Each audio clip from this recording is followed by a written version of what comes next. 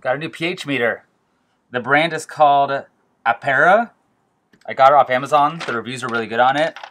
So here I am. Yeah, let's go through on how to calibrate this.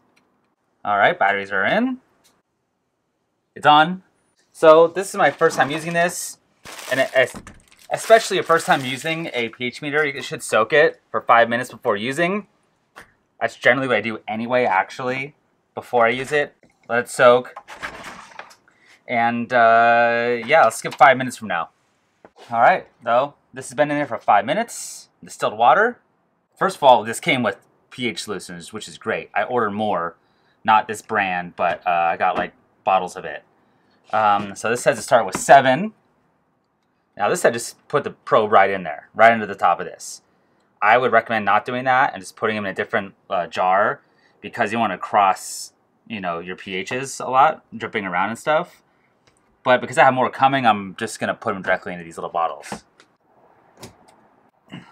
Little plastic tops here are vicious. I'd like rip a hole into this.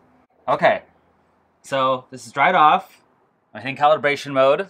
I think this bottom button here. I gotta turn it on first, I think. Calibration mode is this bottom button here. So to hold it for long. And it says cal. Put it in the pH solution here. And this is in 7 first. LCD displays a happy face, which it did.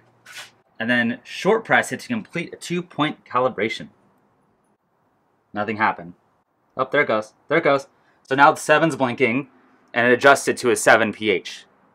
I think that's it there. Oh, and it says the temperature is 89 degrees, by the way. So I think this has a temperature adjustment in this, which is pretty rad. Uh, I don't want to really exceed that. I think the probe above 120 degrees Fahrenheit would have issues. But that's great that it can adjust for that because that is going to be very handy for the hot Los Angeles weather here. Okay, great. So I'm now going to put this into water here, did my distilled water, rinse it off, and test it against the 4 pH. Why are these so difficult to open? So I've gone through a bunch of pH meters. I've gotten some crappy brands. I forgot the first brand I had, but it was it was bad.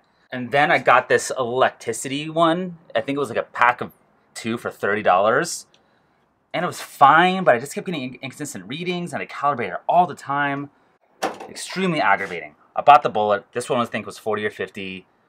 Um, and the best reviews I could find on Amazon. So hopefully this is the one. If this craps out on me and doesn't work well, it will crap out eventually. But if it just quits early and I have trouble with it, I'm buy the bullet and spend like $100 on one of those Milwaukee ones. I heard those, I heard those are really good. We'll calibrate this against the four. Long, so I got a long, I hit this for a little longer, this bottom one here. Okay, now it's calibrating against the four. And then I gotta hit this again to complete it. So now it's adjusting to the four. So you long press this, let it sit, and then short press it. And now it's reading right. And it says LM on the bottom right hand side. I'm good to go. So this is calibrated. That's it looks like I can just turn this off and go for it. Uh, when I use this the first time, I'm definitely going to test it against either the 7 or the 4 pH and just make sure it's reading accurate, and then I'll use it to test my mash. If you, if you watch my YouTube videos often, you will uh, definitely see updates along the way. I will, I will let you know, somewhat like a product review, on how this works. By the way, you got to store these in, um, in a pH solution, uh, or the probe will dry out. Uh, I got this potassium chloride pH solution with my other testing kit. It's it is a, a solution. There's other ones out there, um, but this is what I got with it. Not with this one, like I said, with another one. This has a little fill line, which is amazing. And yeah, I'm gonna put that in there, close it up, and now it's gonna stay in the solution until I need it next time. That's how you calibrate a pH meter. This one so far is awesome. I love that it had the temperature in it. It has some weight to it. Um, I love the feeling cap here. I'm glad I spent the money on this, the 50 bucks on it. I think it was, like I said, I think it's actually closer to 40. Uh, and, you know, I do a lot of videos uh, and I'll do a lot of pH readings and I'll kind of do a product test along the way.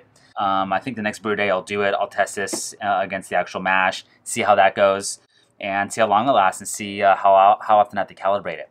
So thanks for watching. Stay tuned for more videos and uh, get out there and uh, get, get weird with some pH stuff.